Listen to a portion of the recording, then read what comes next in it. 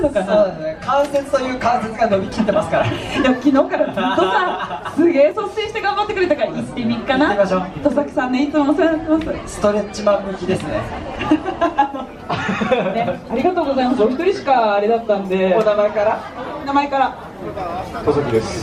佐々木さん何をやられてる方ですか？これ欲しいボルトは。ね、あのパッと見は出たがりなんですけど喋ると意外とね引っ込みちゃった感じ、はい、三部町のあの公認の三部ブランド。今日は干し芋ね干し芋相当うまいっすよ昨日が来てましたけど、あ、うまい。しっとり感と甘さが違いますよねそうなんです。これからたっぷりやめてください、お子さんいっぱいいますので。それではもう一度ね問題から三部町の人口は何人でしょ2000万人です。う。と思うじゃないですか。増えたんですよ。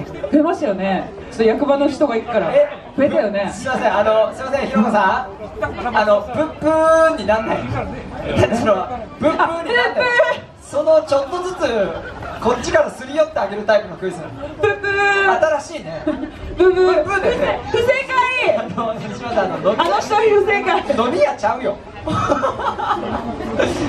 こっちからすり寄るタイプのクイズブブー。不正解でした。不正解でしょ？残念戸崎さん。ちょっとお子さんそうだね。分かったよって人。三部町の人口何人かなって分かった人。猫が気になってしゃあないから三部町の人口は何人でしょう？雰囲気ですごい。嘘つけ大正なわけあるかおゼロカンペであの年の子が焼くって言うわけないから4万人って言う解。よ私でもね、ちゃんと細かい数字書いてるのに、約4万人とか知ってあなかったと思う自分。で？四捨五入自分でしてくれたってこと？大きい大きいもんだとお兄ちゃん。すごい。じゃあ、まあ、腕。おめでとうございますとうはい、ちょっとプレゼント、ちょっとここの中あ選んでいいんだ？ね。かんぴょうも入ってるよ。じゃあ彼にはここから2時に向けてあのノースリーブのシャツをプレゼントした。い本当だね。ちょっと今日予定より暑くなっちゃったんでね。人さん、手伝って。かん。まずこっちから選ぶ感じ？どっちでも誰好きなの？あとね佐藤弘子のあの今日1曲目だった「奇跡」っていう曲のあのー、PV ちょっと持ってきた。後から足すのずるくない？え なんかえ選選べばいいかな。え選ぼう。えっとは